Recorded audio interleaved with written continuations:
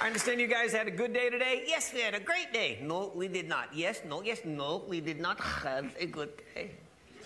Yes, we had a great freaking day.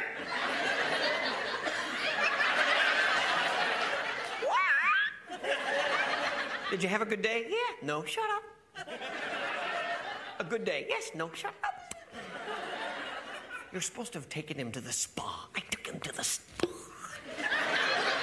He put me in the vegetable steamer.